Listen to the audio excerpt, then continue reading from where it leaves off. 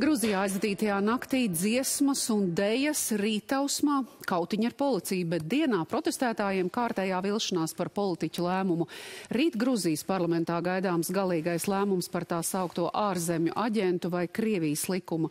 Kopā ar protestētājiem pie parlamenta ir arī mūsu filmēšanas grupa korespondents Girds Zvirbuls un operators Olovs Pešvits, un ar viņiem arī sazinos šobrīd tiešrādē. Sveiks, Girt! Kāda šobrīd ir Grūzijas iedzīvotāja rīcība skaidri zinot, ka rīt ir gaidāms balsojums?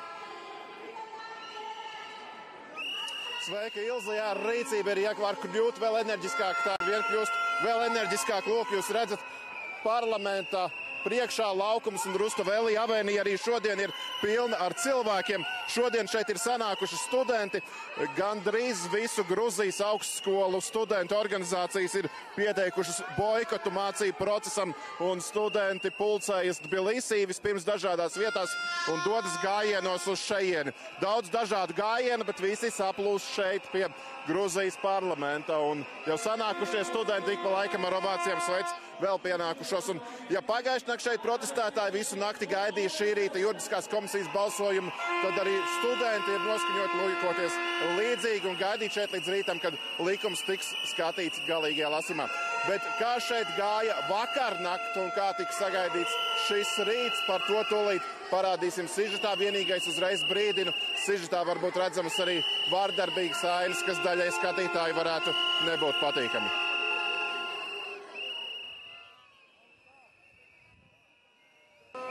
Rustavēlī avēnīta Bilisī pie Gruzijas parlamenta bloķēta arī šovakar. Cilvēki šeit plāno palikt visu nakti un arī pēc tam tik ilgi, cik vajadzēs, lai tā sauktais ārzemju aģentu likums tiktu atcelts.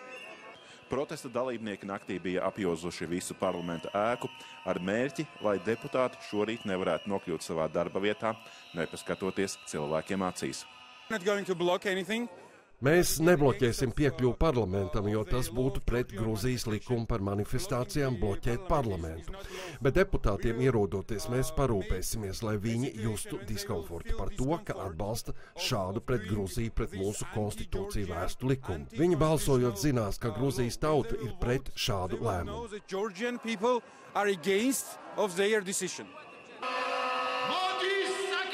Grūzija nāk! Grūzija kustās. Grūzija dzīvo, Grūzija skan. Sekojot šiem dzinieku vārdiem, arī tiek aizvadīta nakts, mierīgi dziedot, dejojot un izbaudot kopā būšanu.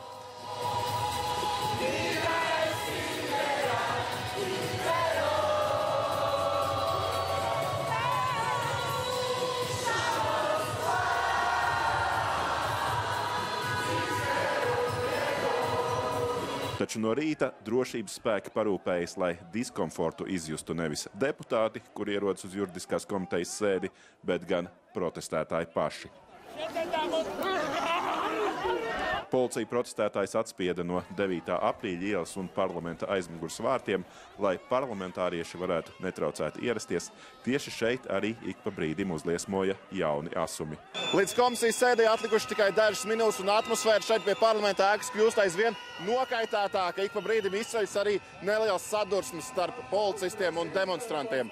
Opozīcijas deputātus policija pie ieejas aizkavēja, tādēļ uz juridiskās komisijas sēdes sākumu ieradās tikai septiņi valdošo partiju deputāti, kas ir minimālais kvorums, lai sēde varētu notikt.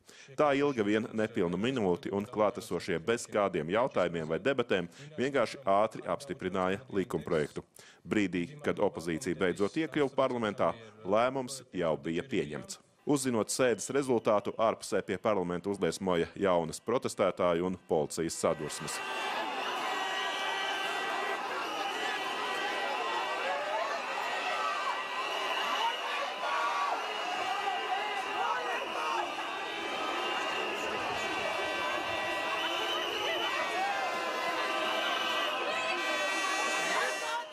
Uzrunātie cilvēki atzīst, šāds rezultāts bija gaidāms, tomēr vilšanos un sarūktinājumu tas nemazina. Es jūtos dusmīgs, es jūtos vīlies. Man ir sajūta, ka viņi ar mums vienkārši spēlējas. Bet viņi nevarēs mūs apturēt. Mēs te nāksim, mēs te protestēsim, un mēs noteikti uzvarēsim. Sure.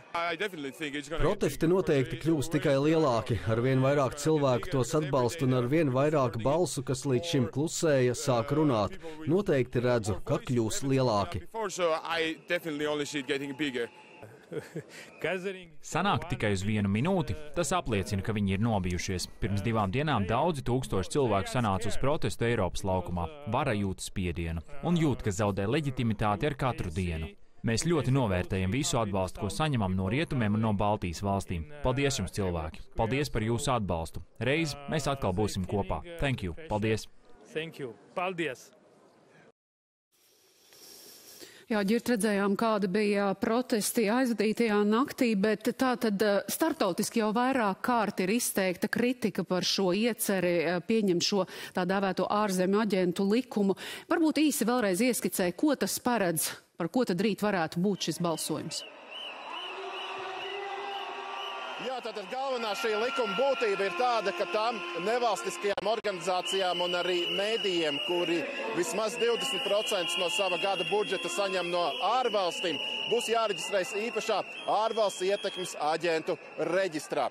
Pēc būtības tas vēl neparedz šīs organizācijas slēgt vai ierobežot viņu finansējumu, taču tas ir līdzīgs solis, kādu savulaik spēja Krievija sākot vērsties pret, civilo, sab, sab, pret pilsoniskā sabiedrību. Un tādēļ arī nosaukums Krievijas likums, taču vēl vairāk par to cilvēks un organizācijas, ar ko es esmu runājis, satrauc pat šī nepieciešamība reģistrēties. Visi saka, ka to nedarīs, jo uzskata to par apkaunojumu. Būtībā tas ir tāds kā zīmoks attiecīgajai organizācijai, ka tu strādā citas valsts, nevis Gruzijas interesēs. Un tas šeit ir ļoti liels kauns un šeit Dienvidu Kaukāzā kauns un gods un pašcieņa tie ir jēdzieni, kas ir svarīgāki par nāvi. Pat ja tu esi liberāls domnīcas vadītājs. Ilze? Jā, jā ģirt, un vēl noslēgumā jautājums tātad par rītdienas balsojumu, kas ir plānots šajā galīgajā lasījumā. Ja tas tiks pieņemts, prezidenta ir apgalvojusi, ka viņa to neparakstīs. Ar cik balsīm ir iespējams pārvarēt šo prezidentes veto, un vai ir sagaidāms, ka koalīcijā arī būs kāds, kurš varbūt būs mainījis domas? Jā, tā tad, lai pārvarētu veto, ir nepieciešamas 76 balsis no 150 balsīm Gruzijas parlamentā. Partijai, valdošai partijai Gruzijas sāpnis kopā ar saviem bijušajiem partijas biedriem, kuriem tagad atsevišķa partija, bet viena koalīcijā tautas varas partija. Viņiem kopā ir 83 balsis, tātad vairāk nekā pietiekami.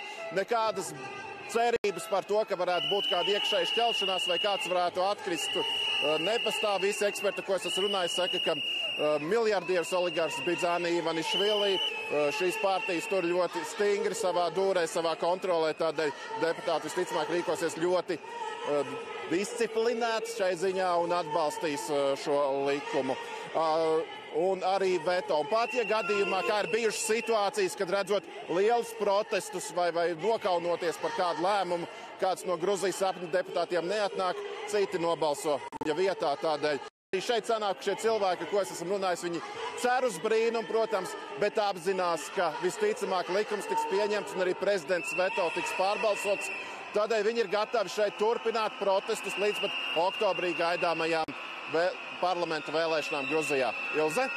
Jā, paldies, Girti. Paldies. Tad redzējām, ka šobrīd arī joprojām cilvēku jūra pulcējās pie parlamenta ēkas, zinot, ka rīt ir gaidāms šis balsojums. Girts Zirbuls un Olas Pešveids ziņoja no Tbilisei. Un vēl jāpievieno ziņa, ka šodien 12 Eiropas Savienības dalību valsts ārlietu ministri lūdza Eiropas komisijas sniegt komentāru, kā likumu, kuru jau kritizējusi Eiropas Savienība, ASV un apvienoto nāciju organizācija, pieņemšana ietekmēs Gruzijas iekļaušanos Eiropā, bet trešdien uz Tbilisī dosies Baltijas valsts un Islandes ārlietu ministri, lai tiktos ar valsts prezidenti.